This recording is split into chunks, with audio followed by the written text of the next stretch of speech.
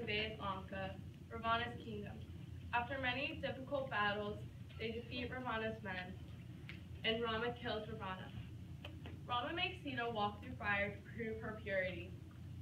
Rama, Sita, and Lakshmana then return to Ayodhya, where Rama ruled for 10,000 years. Hanuman burned down part of Lanka before returning across the sea. Therefore, Ravana gathered his leaders to discuss revenge. Most of the leaders told Ravana what he wanted to hear. Kumbhakarna, the mightiest warrior of all, awoke from his slumber and told Ravana, Ravana, stealing Sita was a foolish thing to do, and it has brought needless strife to our land. However, I will follow you, for you are my brother and my king. Vibhishana, the youngest brother, however, decided different. Ravana, who can fight Rama and win? Sita has brought nothing but evil omens to our land. I advise you to go to Rama and Sita and apologize. Sita is mine, and she will remain mine, no matter whom I must fight. Either you are jealous and want my kingdom and my queen for yourself, or else you are a traitor. If you are not my brother, I will kill you for what you said.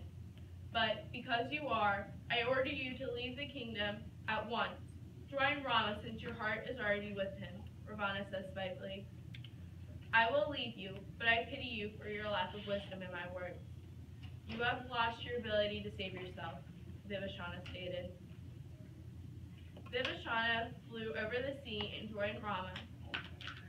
In return for his help, Rama promised Ravana's land.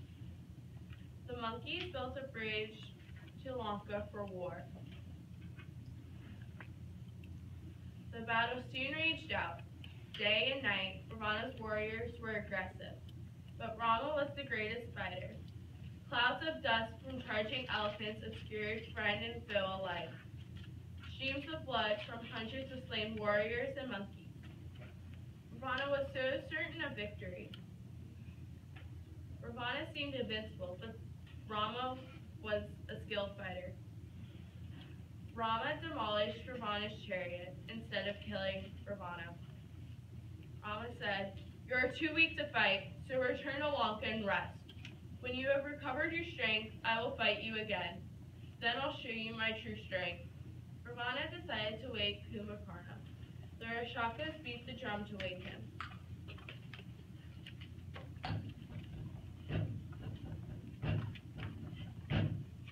This took a long time.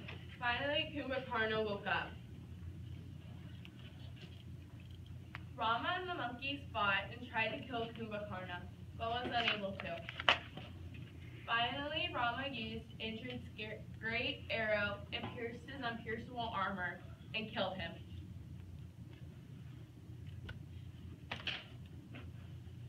Rama's warrior was superior to Ravana's. Ravana was a great warrior, but Rama was better.